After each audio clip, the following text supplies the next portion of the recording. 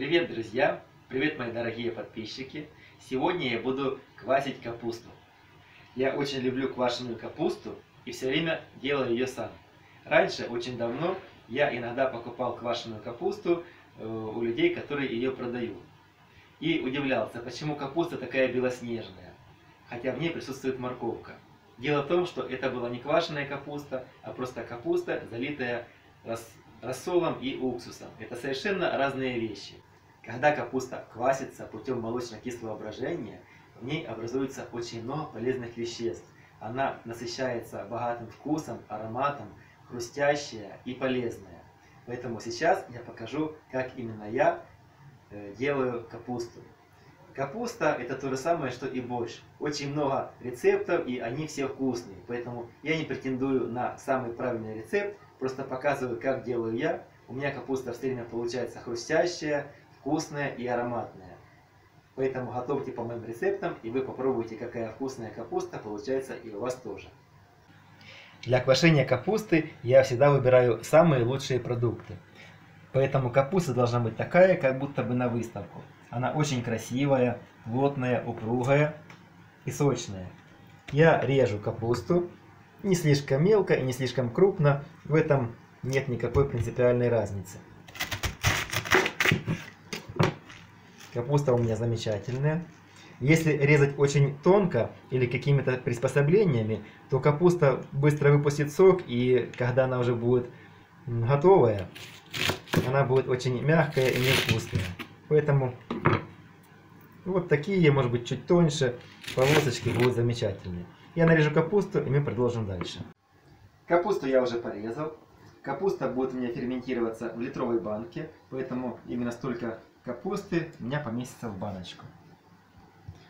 А когда люди ферментируют капусту или подвергают ее молочно-кислому брожению, то это могут быть и крупные куски капусты, пелюстки э, с желтым цветом или с красным цветом, поэтому даже крупные кусочки капусты будут вкусные и упругие. Не слишком думайте, насколько мелко или крупно вы порезали капусту. Также очень важно, чтобы в капусте присутствовала и морковка. Морковку я возьму сладкую и немножко добавлю ее сюда. Но не буду пока смешивать сразу с капустой. Я возьму вот такую терку. Несколько полосочек морковки я добавлю.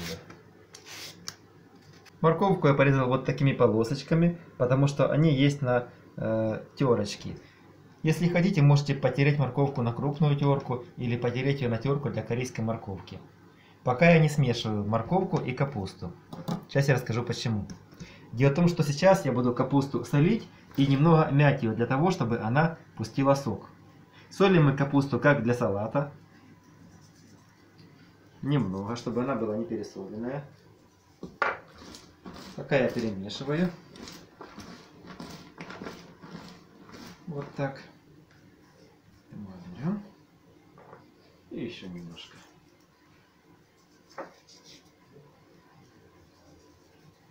Все, капуста посолена. И теперь я беру ее и вот так немного сжимаю пальцами, чтобы она стала немного мягче и начинала пускать сок под действием соли и механического воздействия. Чем крупнее порезана капуста, тем сильнее ее нужно подавить. Если капуста порезана очень тонко, ее нужно легонечко перетереть руками и все, потому что при сильном воздействии она много выпустит сока и будет мягкая и невкусная. Для того, чтобы ускорить старт молочно-кислого брожения, я добавлю в капусту чайную ложечку сахара. Все. Теперь о приправах. Самые важные компоненты это, конечно же, лавровый лист. Я беру вот столько. Черный перец горошек. Мне очень нравится, когда попадается горошинка, я ее раскусываю.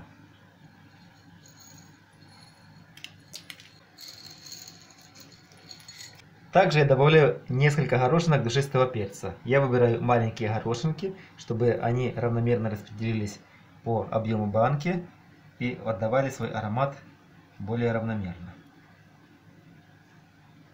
Ну, вот 6 штучек будет достаточно малюсеньких.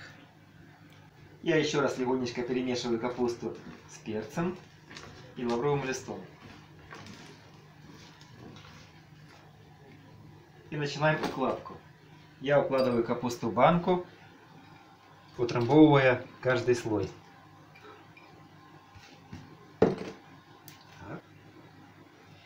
Для утрамбовывания под руками был только пестик от ступки, поэтому я так аккуратненько, чтобы не разбить банку и не слишком повредить капусту, утрамбовываю. И сверху присыпаю морковкой.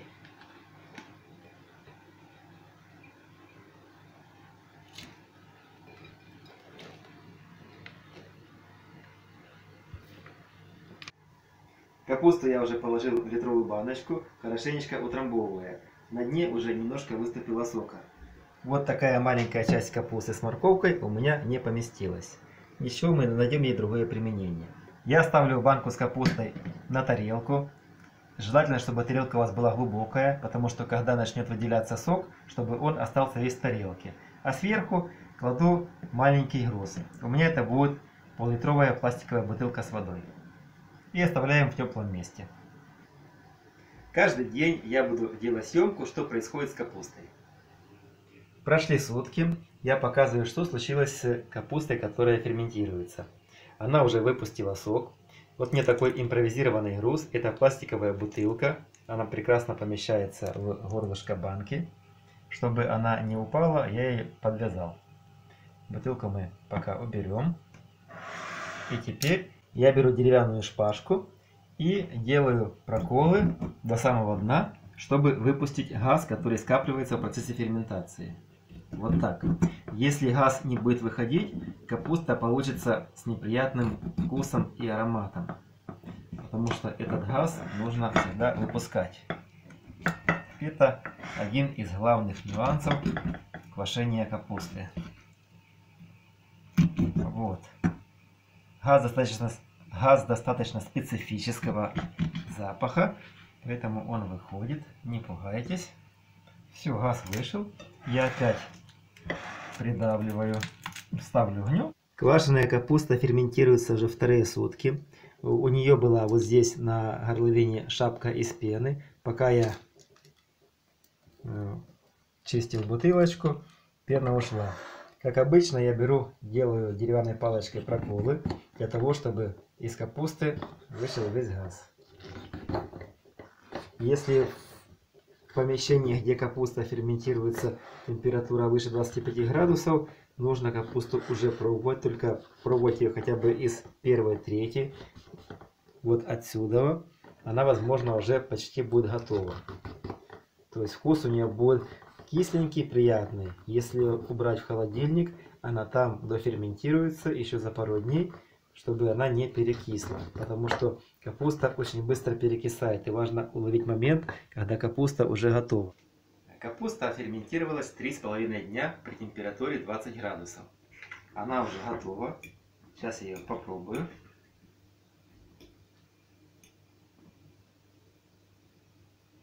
Аромат прекрасный.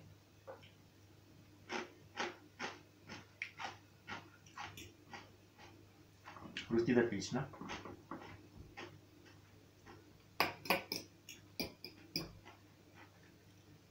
Сейчас я обмою банку, закрою ее крышкой и поставлю в холодильник. В холодильнике она уже будет доферментироваться, но ее уже можно кушать. А вечером мы проведем дегустацию. И снова всем привет! Наконец-то самая приятная часть – дегустация. Капуста ферментировалась или мариновалась 3,5 дня при температуре 20 градусов в помещении. Она полностью готова. Кроме этого, она отдохнула еще половину суток в холодильничке. И я ее достал. Я очень люблю квашеную капусту без добавления растительного масла и лука. Хотя раньше я ел и так, и так. На мой взгляд, самая вкусная капуста и самый богатый вкус получается, когда она ни с чем не смешивается. Поэтому я достал капусту из банки, насыпал ее в тарелку и начинаем дегустацию. Очень хорошо подчеркивает вкус квашеной капусты пшеничный дистиллят. У меня пшеничный дистиллят, который хорошенечко отдохнул. Он очень ароматный.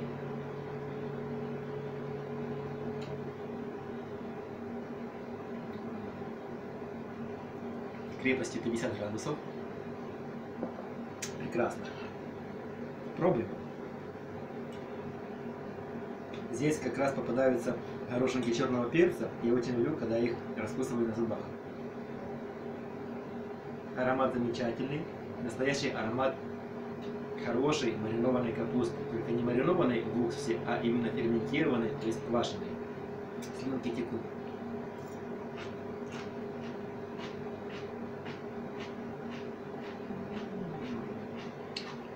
Как она хрустит.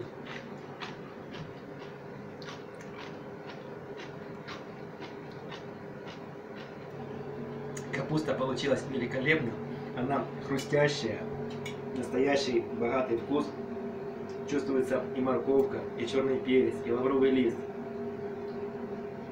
Соли совсем не слышно, потому что именно это тот баланс, который должен быть, чтобы мы кушали продукт, и соли не было видно, что ее или не хватает, или слишком много. Нет, можно сделать вот так.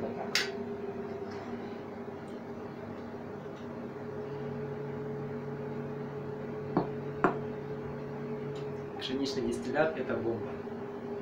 Капуста – это супер.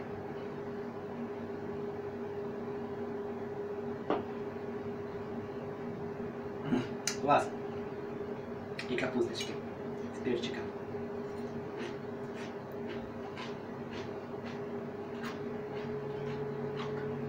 Квашеная капуста получилась просто изумительная. Это замечательная закуска под хорошие крепкие напитки. Друзья, готовьте по моему рецепту. Вам капуста очень понравится. Вы будете просто очень сильно и приятно удивлены. Это самый лучший и самый правильный рецепт. Если вам понравилось это видео, пожалуйста, готовьте по моему рецепту. Пишите в комментариях, что вы думаете. Ставьте лайки. Подписывайтесь на канал. Кнопочка вот здесь внизу. И помните, друзья, кухня – это самое спокойное место. Ну это правда классно.